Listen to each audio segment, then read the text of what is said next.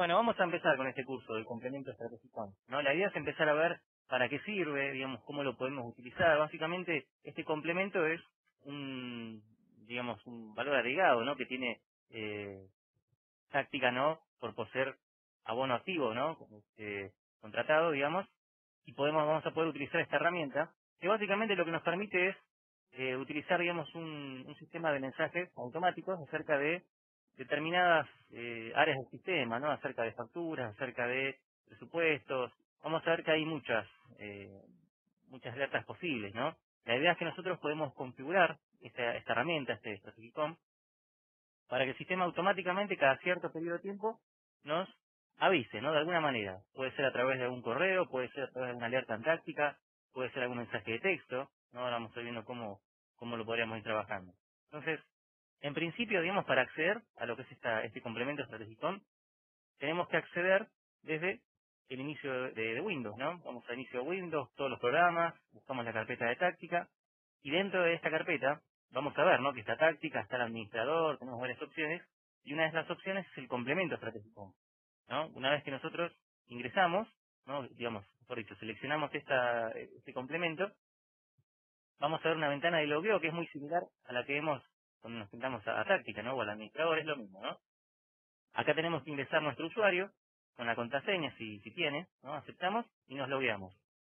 Vamos a ingresar ya al complemento. Este es el lugar donde podemos empezar a, a configurar las alertas. Entonces, eh, vamos a ver en principio que tenemos estas tres solapas, alertas, logs, importaciones, eh, porque bueno, vamos a poder ver distintos, tipos de información o, generar distintas actividades. Ahora vamos a ir viendo cómo, cómo lo trabajaríamos. En principio, en esta solapa de alertas, es donde nosotros podemos empezar a dar de alta todas las que nosotros queramos, ¿no? Digamos, este, para trabajar desde este lugar. Todo lo que se ve acá son filtros, porque si ya tenemos alguna alerta configurada, podemos filtrar para ver solamente esa alerta en particular. ¿no? Acá tengo filtros por usuarios, acá podría poner todos los usuarios, o por nombres, o por estado, eh, o por tipo de alerta. Esto vamos a ponerlo en principio en todo, ¿no? De todos los días o de algún día en particular. Entonces podemos buscar y ver el listado de todas las que tengamos configuradas. En este, en este caso, como no tengo ninguna todavía, este listado va a estar en blanco, ¿no? No tenemos nada porque no se dio de alta ni alerta por el momento. Entonces con el botón derecho ya podemos empezar a dar de alta las alertas. ¿no? Botón derecho, nuevo, y se abre esta ventana donde la podemos configurar. Se le puede en principio asignar un nombre, que nosotros queramos, digamos, lo podemos quitar a mano, o podemos dejarlo en blanco para que el sistema lo complete automáticamente. Ahora vamos a ver que el nombre me lo trae automáticamente por defecto según cuál sea el, alerta que yo seleccione. ¿no? Entonces para eso vamos al que está más abajo, que dice tipo, viene después, y en este campo de tipo a la derecha tenemos el buscador donde podemos buscar y seleccionar. Este es el listado, digamos, de todas las alertas que tenemos disponibles. ¿no? podemos indicar o, seleccionar, digamos, alguna alerta para que el sistema nos avise acerca de las actividades que tenemos en táctica sin referencia, o que nos avise acerca de la cantidad de correos que no están enlazados, o que no estén leídos, o los históricos creados. Hay, digamos, eh, distintos tipos de alertas para distintas áreas del sistema, ¿no? Acá tenemos de, eh, no sé, de correos, tenemos de cheques, tenemos de empresas, de facturas, eh, bueno, de pedidos, hay presupuestos hay varias, digamos, que ya tenemos disponibles para, para digamos, este, para seleccionar, ¿no? Y también está la posibilidad de dar de alta una consulta personalizada, que esto es un poco más complejo, porque para poder utilizar esta herramienta hay que editar esa consulta, digamos, tenemos que darla de alta, es una consulta de base de datos, para que el sistema a lo mejor nos avise otra cosa que no tenemos en este listado, ¿no? Porque acá ya tenemos algunas consultas preconfiguradas, ¿no? Tengo para que el sistema me avise acerca de los cheques disponibles para depositar, pero a lo mejor yo quiero otra cosa que no está acá, ¿no? No, no la tengo. Entonces, con esta consulta personalizada se puede dar de alta alguna, algún tipo de información distinta, ¿no? El tema es que hay que configurarlo. Por eso es que esto, en principio no, no lo mostramos, digamos, lo mencionamos, pero no vemos un ejemplo porque es un poquito más complejo, ¿no? Y no viene tan, al caso para ver lo que se trata, ¿no? De, esta herramienta. Entonces lo que hacemos en principio es elegir la que nosotros queramos, ¿no? Queremos incluso para cumpleaños, ¿no? Si los tenemos cargados en táctica, para que el sistema nos avise los cumpleaños que se vienen en los próximos tantos días. Para cualquiera, digamos, de, las, alertas que elijamos, vamos a tener a la derecha algunas opciones, ¿no? que van a cambiar porque va a depender de la que esté seleccionada.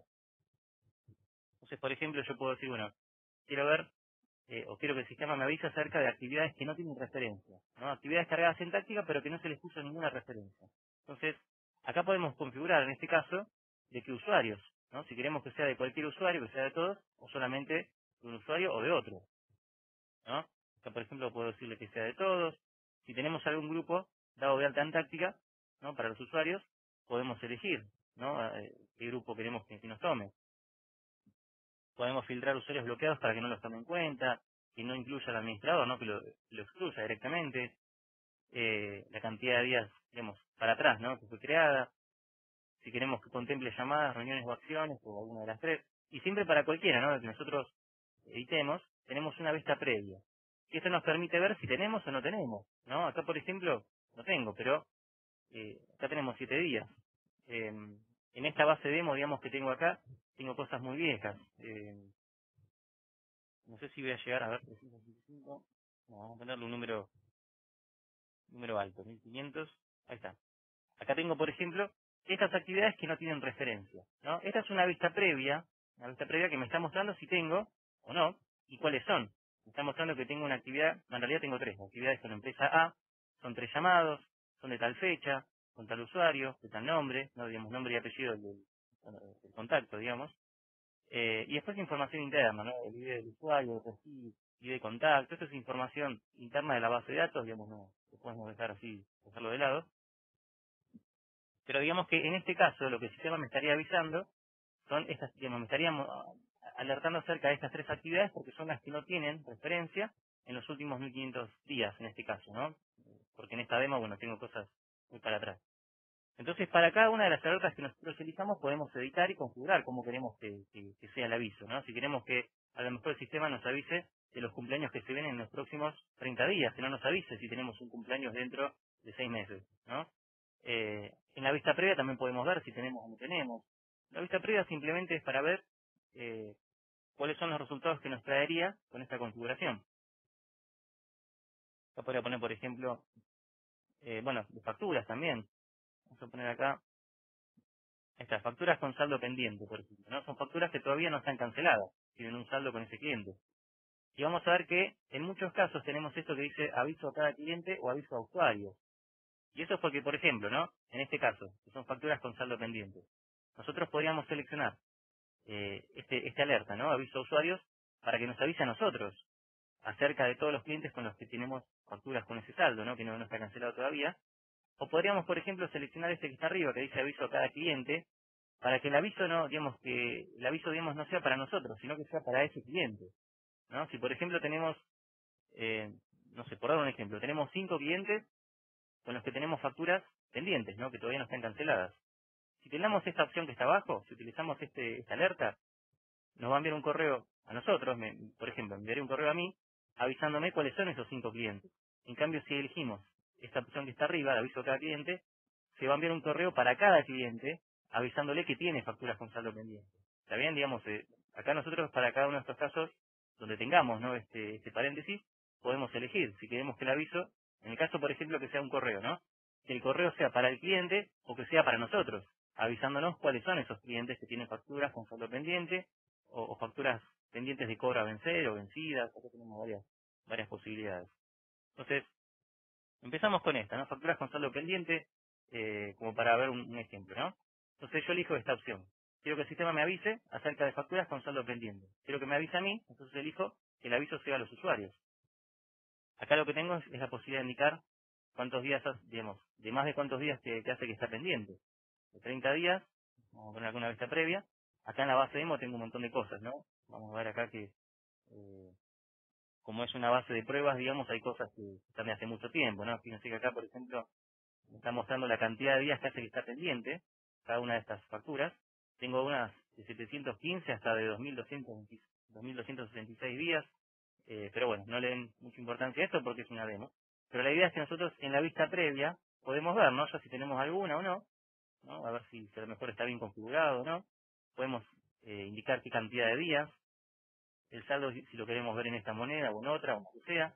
Podemos elegir también eh, de qué razón social, digamos, facturas que estén generadas con esta razón social o con esta otra, ¿no? Porque podemos tener más de una fiscal si, trabajamos de esa manera. Entonces, eh, yo podría decir que quiero ver solamente facturas con saldo pendiente que se generaron con vaca platina SA, o solamente las que se generaron con vaca platina exento, o no selecciono ninguna y se van a tener en cuenta las dos, ¿no?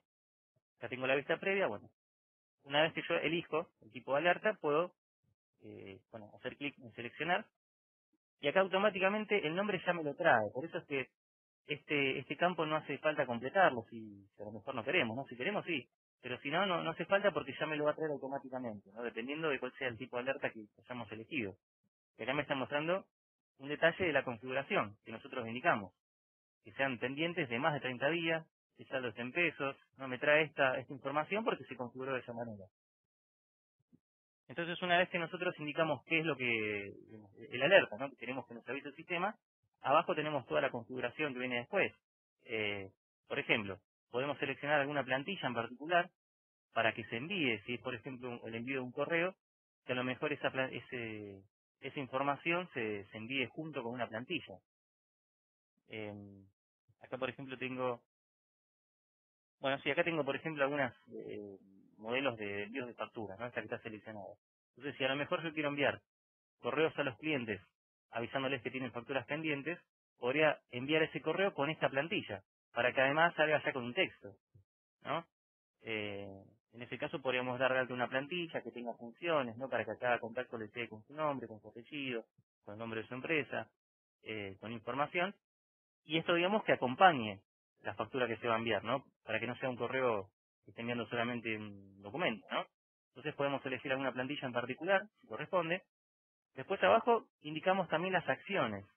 Esto es, digamos, indicarle al sistema cómo queremos que nos avise, o cómo queremos que sea la alerta, ¿no?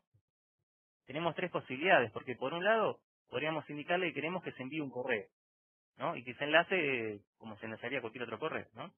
Entonces, si elegimos esta opción, de eh, bueno, enviar correo, tenemos que indicar con qué cuenta de correo queremos que se envíe, por eso es que el usuario tiene que tener configurada la cuenta de correo. En este caso, por ejemplo, el usuario este, administrador que tomé acá no tiene correo, vamos a, cambiarlo, vamos a poner acá eh, por ejemplo. Ingresamos acá la estrategia, pero cambia el usuario nada más. Entonces volvemos acá. Tipo de alerta, vamos a poner facturas con saldo pendiente, aviso usuarios, 30 días, esto lo dejamos como está y ponemos acá enviar correo y elegimos la cuenta de correo, ¿no? En este caso tenemos que tener configurada la cuenta de correo en práctica, ¿no? Si la tenemos, directamente ya la seleccionamos, ¿no? Para que el sistema utilice esa cuenta para enviar el correo. El asunto que vemos acá es el asunto del correo, y esto también me lo trae automáticamente por, por la alerta que elegimos. Entonces, este asunto, digamos, de que, que va a ser el que va a tener el correo, si queremos lo podemos cambiar, podemos poner un asunto distinto, pero si no, directamente lo dejamos para que el sistema lo complete y se envíe con ese asunto. Si se va a enviar un reporte, podemos indicar también cuál, digamos, qué, qué modelo de reporte, digamos, de los que tenemos queremos que sea el que se envíe. Puedo tener, por ejemplo, reportes de facturas pro forma, de encastre. Esto, digamos, en táctica, lo voy a mostrar acá con un ejemplo, ¿no? Vamos acá a poner facturación va a depender siempre, bueno, del que queramos enviar, porque por ejemplo, vamos a ver acá, de reportes. Yo acá en esta demo tengo varios reportes que son modelos, ¿no? Tengo, por ejemplo, los que son pro forma, a decir este. Este es un tipo de reporte que me imprime la factura completa, me imprime el logo, me imprime los recuadros, eh, junto con la información, ¿no? Digamos, todo completo para imprimirlo desde, una hoja en blanco. Pero también tengo, por ejemplo, reportes que son de tipo encastre. Factura A encastre, ¿no? Este. Sería el caso en que nosotros tengamos ya la factura preimpresa y tengamos que imprimirle solamente la información, imprimirle datos del producto, los precios, las fechas. Eh, entonces, la idea es que nosotros en, este complemento podemos elegir también cuál es el reporte que queremos que se envíe, si es uno o si es el otro. También el formato, si queremos que sea en PDF, RTF, Excel, Word, esto que nosotros queramos. Y si queremos que se envíe solamente el reporte o no, ¿no? Pero en este caso, lo que estaríamos haciendo es enviar un correo, ¿no? Este, al usuario, a que nosotros elijamos. También podemos dar la opción para que se envíe un mensaje de texto. Y para esto también tenemos que tener la cuenta configurada de mensaje de texto, ¿no? El asunto también me lo trae por defecto. En el caso, digamos, de los mensajes de texto, hay que tener en cuenta que para eso tenemos que tener contratado el servicio de mensajería de texto, ¿no? Esto, digamos, no, no es algo que el sistema ya se los da. Digamos que nosotros podríamos ingresar acá en cuenta, ¿no? Y podemos configurar la cuenta de correo, eh, bueno, la cuenta en realidad de mensaje de texto. Acá tenemos el link, digamos, por si queremos eh, contratar el servicio, ¿no? smsmasivo.com.ar, que desde ahí, digamos, si nosotros contratamos el servicio y damos alta la cuenta, la vamos a poder configurar en táctica, justamente para que en vez de enviarse un correo, por ejemplo, se envíe un mensaje de texto, ¿no? Pero hay que tener en cuenta que tenemos que tener contratado este servicio. Eso, digamos, es la, aclaración más importante. Si nosotros tildamos esto, pero no tenemos ninguna cuenta, el mensaje de texto no se va a enviar. Y también se pueden crear alertas. Que las alertas son, digamos, similares a, a las que tenemos en táctica. ¿no? Por ejemplo, eh, bueno, si vemos acá, no sé, con Canal A. Si yo le hago botón derecho, a la empresa o al contacto también, ¿no? Porque a los contactos también se les puede eh, programar alertas. Vamos acá a la opción de agregar alerta, en este caso con la empresa Canal A. Podemos generar este, estos tipos de alertas que son para avisarnos de, algún asunto en particular, ¿no? Vamos a suponer que la empresa Canal A tiene problemas de pago. Entonces ingresamos algún asunto, alguna nota, nosotros queramos, como lo mismo, indicamos también a qué usuario queremos que le avise el sistema. Pueden ser todos, pueden ser algunos. Eh, yo en este caso estoy logueado con el administrador, vamos a decir administrador. Y tenemos estos tipos, generar log, recurrente, mostrar al iniciar, urgente. Son los que tenemos acá, generar log, recurrente, al iniciar, urgente, ¿no? Después tenemos completar actividad que tiene que ver con el calendario, ¿no? Pero estos tipos de alerta, vamos a ver acá, son los mismos que tenemos acá. Por ejemplo, generar log, vamos a aceptar, es para que nosotros, cuando elijamos la empresa, que en este caso es Canal A, ¿no? Si elijo las demás no pasa nada. Elijo Canal A, automáticamente me abre esta ventana que me está avisando de esa alerta que dimos de alta. Problemas de pago, problemas de pago, porque es lo mismo. Esto lo cerramos y nos avisa una sola vez. Y esa alerta desaparece. Eso vendría a ser lo que es esto, ¿no? Log. Si es recurrente, vamos a verlo acá, en ese caso, cada vez que elegimos la empresa, nos va a avisar de ese mensaje. ¿no? Decimos, por ejemplo, yo elijo siempre lo mismo, ¿no? Problemas de pago, pero en este caso, le ponemos que es recurrente. Vamos a poner acá también para el administrador. Entonces, lo que va a pasar si es recurrente es que en ese caso, cada vez que elegimos la empresa, me va a dar este mensaje, ¿no? elegí una vez. Ahora la vuelvo a elegir, me lo vuelvo a mostrar. La vuelvo a seleccionar y me lo vuelvo a mostrar. Entonces, que sea recurrente quiere decir que esto es constante ¿no? cada vez que elijamos la empresa. Las alertas se pueden eh, editar, digamos, ¿no? Si vamos a la solapa de alertas que tenemos acá a la derecha, vamos a ver que nos figura que la vamos a poder eliminar, o la podemos modificar, ¿no? Eh, digamos que si queremos que ya no nos avise más, la eliminamos y listo. También podemos tildarle que sea este tipo, ¿no? Demostrar al iniciar. Porque a lo mejor, digamos, el usuario eh, no, no elige la empresa y, a lo mejor todavía no llegó a la empresa, pero cuando se conecta a táctica, a lo mejor no, no va a elegir Canal A, a lo mejor va a trabajar con otra cosa, va digamos, a, eh, no sé, a pasar facturas, presupuestos, a trabajar con cosas distintas. Entonces, si nosotros a esto le configuramos la alerta, vamos a ver acá, que sea demostrar al iniciar, lo que va a pasar es que ese mensaje se lo va a dar cuando se lo vea a táctica.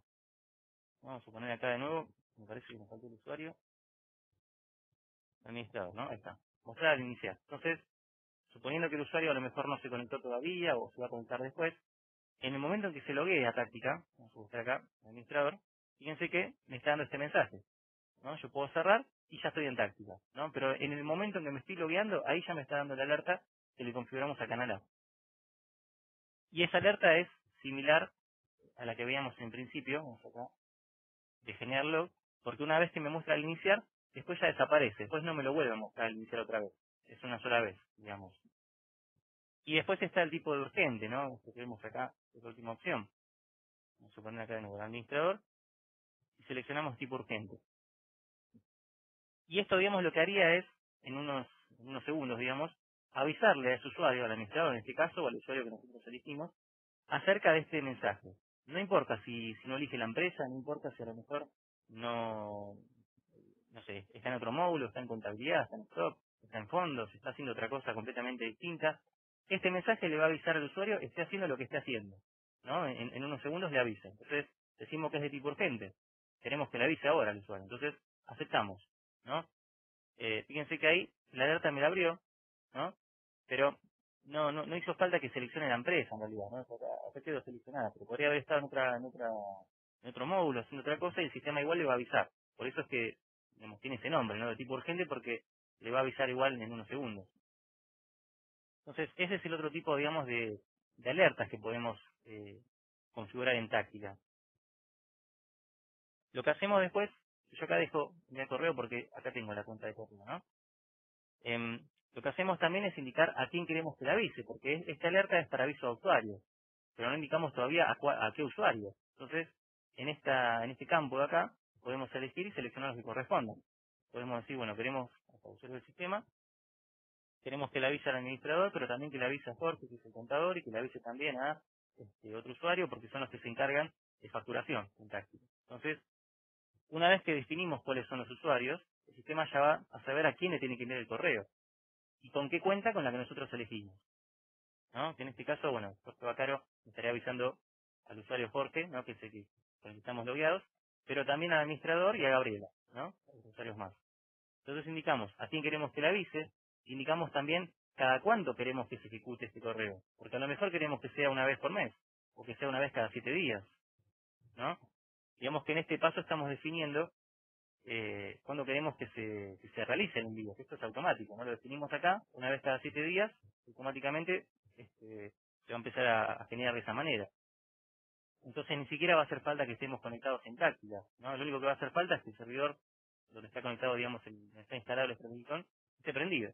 Entonces, eh, esto, digamos, es básicamente para que automáticamente el sistema me avise acerca de facturas con saldo pendiente cada siete días o una vez por día una vez por mes, depende de cómo lo destinamos acá.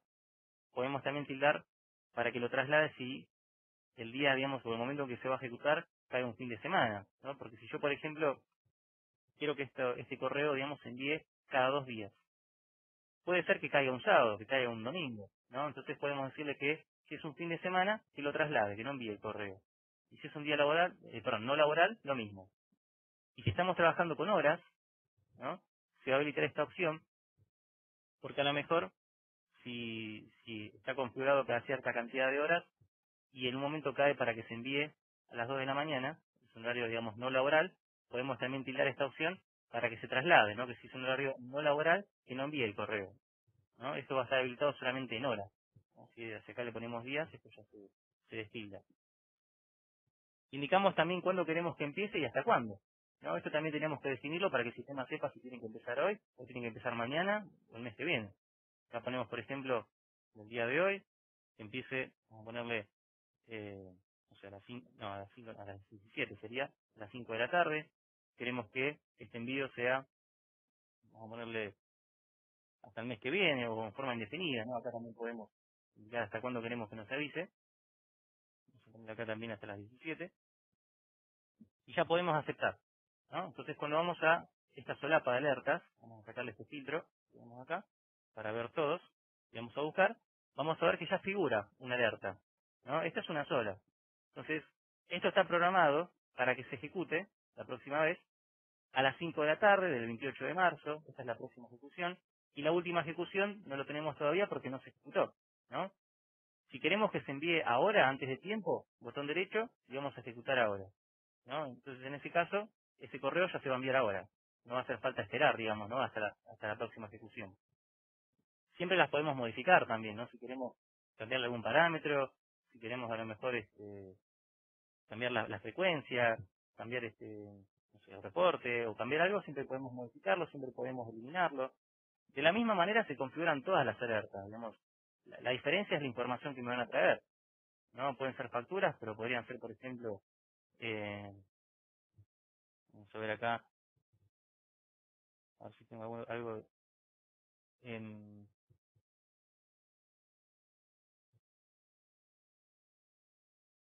yo estoy buscando alguno que sea para clientes, no en este caso. Vamos a poner esta, por ejemplo. Facturas pendientes de cobro vencida. Estas vendrían a ser facturas pendientes, digamos, facturas que todavía no, no se cancelaron y que están vencidas, ¿no? que tenían fecha de vencimiento de ayer o de la semana pasada o de hace dos meses. Entonces, en este caso, digamos, es otro tipo de alerta, pero además es para un aviso al cliente, no para nosotros, ¿no? Entonces, en este caso, decimos, en este, eh, bueno, primero la configuración. de cuántos días te hace que está vencida, ¿no? Tres días o, más o menos. no tengo la vista previa para ver si tengo, si no tengo. En la vista previa, bueno, acá de, este, este, tipo de alerta vemos, ¿no? Cuál es la empresa, cuál es la factura, la fecha de emisión que tiene, la fecha de vencimiento, el importe, el saldo, la cantidad de días que hace que está vencida. ¿No? Bueno, acá estos días son demasiado elevados porque, bueno, justamente la base de, de pruebas, ¿no? Eh, y el saldo sea mayor a determinado importe, ¿no? A lo mejor todas las facturas que son menores a 100 pesos no me interesa, eh, por decir un número, ¿no? Eh, entonces, podemos también eh, indicar cuál es el saldo que nos interesa que sea mayor a, digamos, que sea mayor a determinado saldo, ¿no? Mejor dicho, para que nos avise el sistema, ¿no? Si lo ponemos en cero, no van a ser todas, digamos. Podemos indicar también la razón social. Si queremos a lo mejor que alguna, alguna empresa en particular no la tome en cuenta, la podemos excluir. Entonces podemos buscar y seleccionarla. Esta es la configuración que hacemos con todas las alertas. Puedo seleccionar. Ahí está. Y en este caso, bueno, es otro tipo de alerta, ¿no? Facturas pendientes de cobro vencidas. Acá tenemos eh, la configuración que le dimos. Y después la forma de trabajarla es la misma. Yo puedo decir si quiero que se envíe un correo, si quiero que se envíe un mensaje de texto. Eh, en el caso de las alertas sería para nosotros, ¿no? Pero vamos a suponer que queremos que se envíe un correo indicamos la cuenta de correo. Esto es lo mismo de antes, ¿no? El asunto del correo, el nombre de la alerta ya me lo trae por defecto. Si queremos que se envíe un reporte, eh, si queremos que se envíe a lo mejor una plantilla, como acá arriba, en qué formato, si queremos que se envíe solamente el reporte, cada cuánto queremos que se ejecute, queremos que sea a lo mejor una vez cada siete días, eso es igual, ¿no? La única diferencia, que, vamos a notar en principio es que arriba de esta esta frecuencia que ingresamos acá, no podemos indicar a quién, no podemos elegir los usuarios, ¿no? Justamente porque los usuarios ya están definidos, son justamente los que, o mejor dicho, los contactos, son justamente los de esas facturas, los que están eh, pendientes y que, ya están vencidas. Por eso acá no, elegimos eh, ningún contacto porque ya están seleccionados. Son todos los que teníamos, eh, bueno, incluso los podemos ver en la vista previa, ¿no? En este listado. Entonces, el correo que se va a enviar en este caso va a ser para todos estos clientes indicándole acerca de todas las facturas que tienen pendientes y que ya están vencidas, porque ese es el tipo de alerta que elegimos. También podemos tildar para que se traslade, podemos indicar cuándo queremos que empiece, hasta cuándo, tenemos acá, eh, hasta el 31 de mayo, por ejemplo. Vamos a ponerle algún horario, lo mismo, ¿no? De las 5 de la tarde hasta las 5 de la tarde del otro día, de, de, bueno, sí, el 31 de mayo.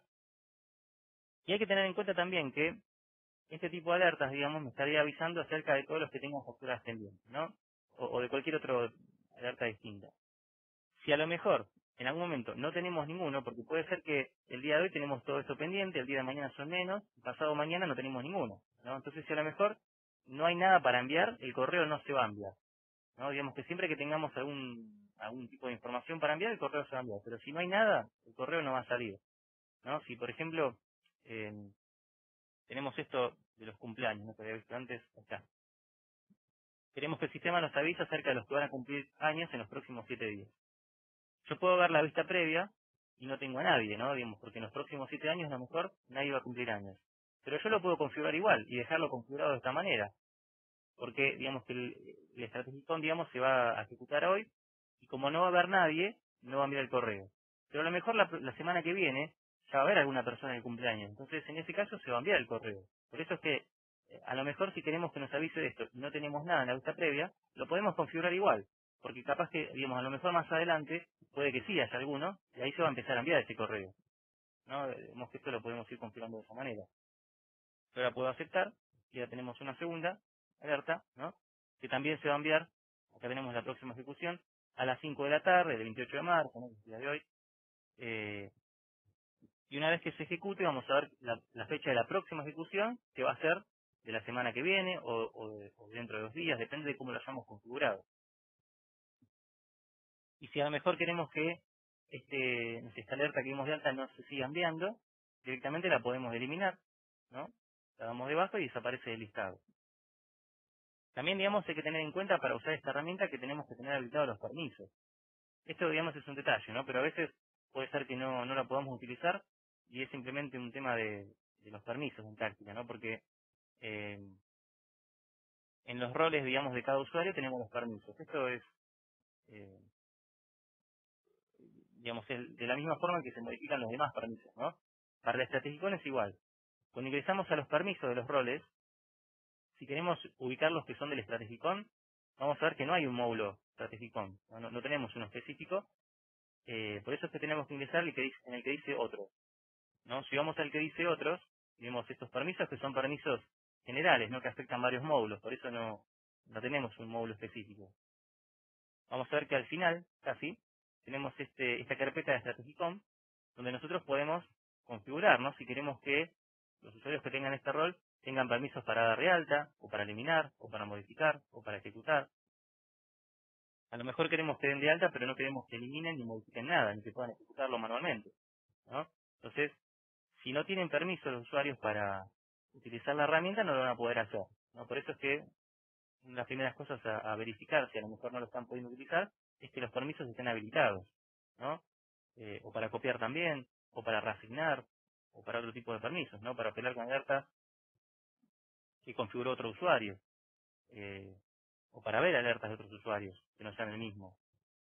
O para crear consultas personalizadas. Esto que veíamos antes que, tenemos la posibilidad de dar de alta una consulta que no, está preconfigurada, ¿no? una consulta que nosotros esperamos de otro tipo de información. Pero bueno, en principio es esto, ¿no? Debemos tener en cuenta los permisos que tienen que estar habilitados. Y otra, digamos, bueno, Después tenemos los logs, esta es la solapa donde vemos información acerca de los correos que se enviaron, eh, de usuarios a los que se envió ese correo. Por eso es que los logs, en principio, si nosotros no vemos un correo todavía, va a estar en blanco. ¿no? Es más que nada para tener el registro de esa información, ¿no? De cuándo se envió el correo, si se pudo enviar bien, si no, podemos depurar los logs, que básicamente es para poder borrarlos, ¿no? Para poder eliminarlos, si queremos limpiar este listado.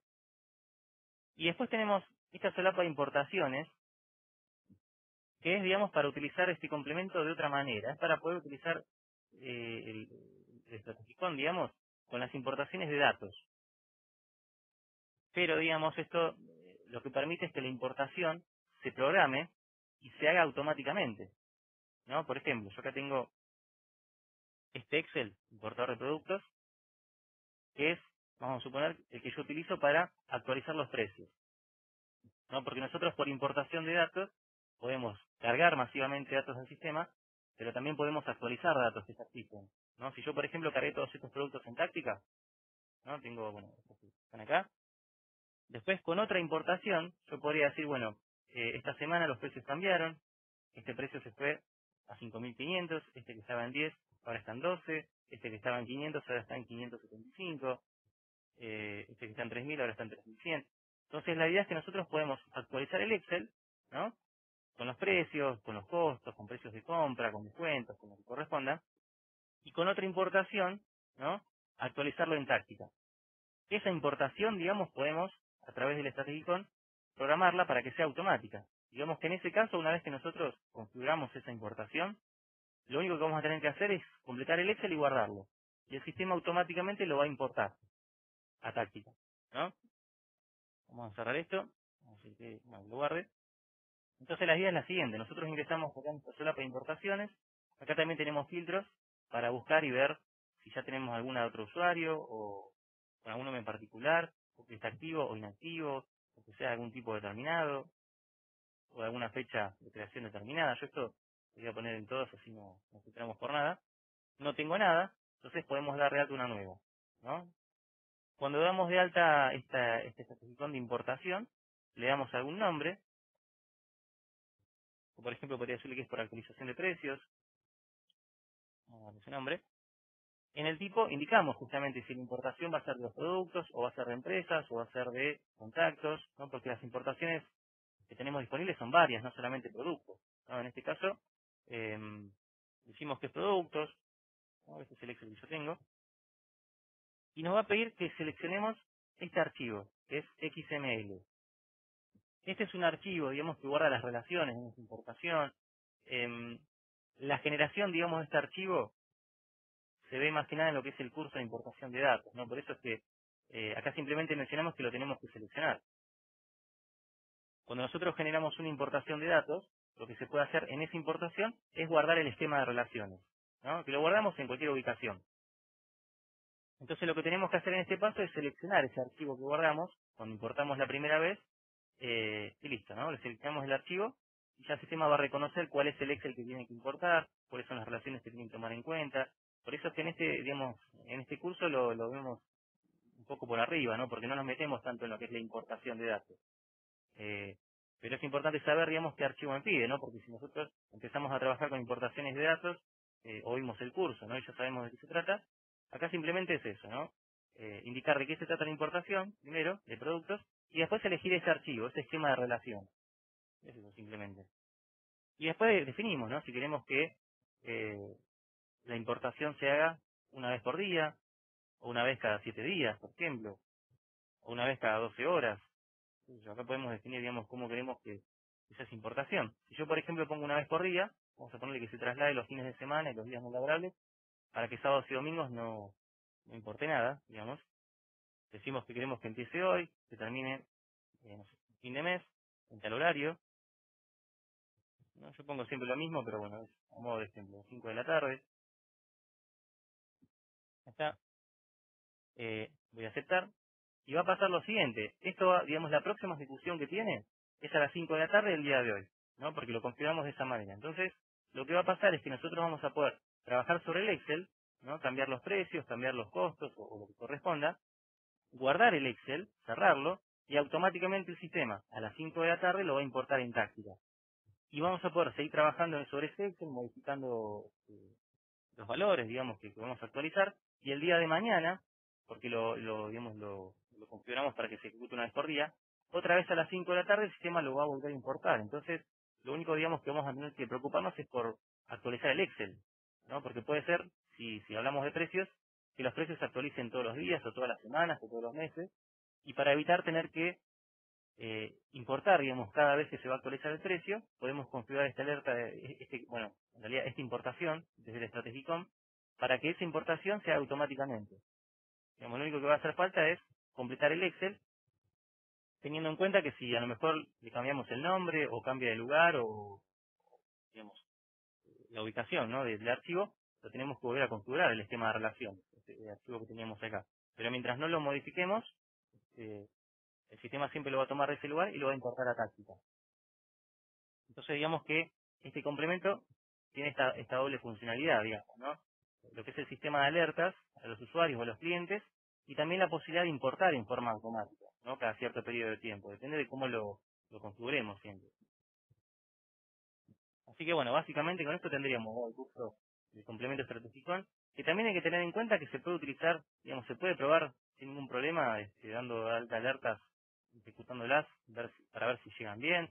Digamos que podríamos dar de alta alertas, eh, en principio que sean de aviso eh, a usuarios, ¿no? Para que no le envíen correo a los clientes. Podemos probar primero ese, esa alerta, digamos, para que el envío del correo, ¿no? si es un correo, nos llegue a nosotros y que no le envíe nada al cliente hasta que veamos cómo trabaja, a ver si a lo mejor queremos configurar algo distinto, ¿no? Eh, y lo podemos ir configurando en modo de prueba, digamos que no, no perdemos nada, ¿no? Eh, si vemos que nos equivocamos, si está mal configurado, lo podemos eliminar, lo podemos modificar, damos de alta un, una alerta distinta. Digamos que esto para pruebas ningún problema. Lo único que tendríamos que hacer es tener configurada una cuenta de correo, ¿no? En este caso, para que el sistema nos pueda avisar eh, a través de un correo, ¿no? Eh, indicándole de, qué cuenta tiene que enviar ese correo. Así que bueno, básicamente con esto tenemos el curso. No sé si, si hasta hay alguna duda con lo que vimos o algo que quieras consultar.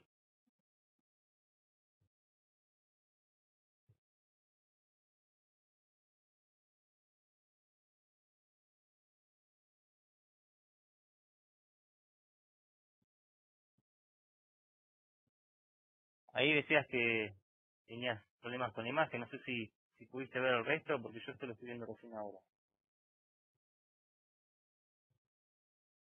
O no sé si tenías alguna duda puntual.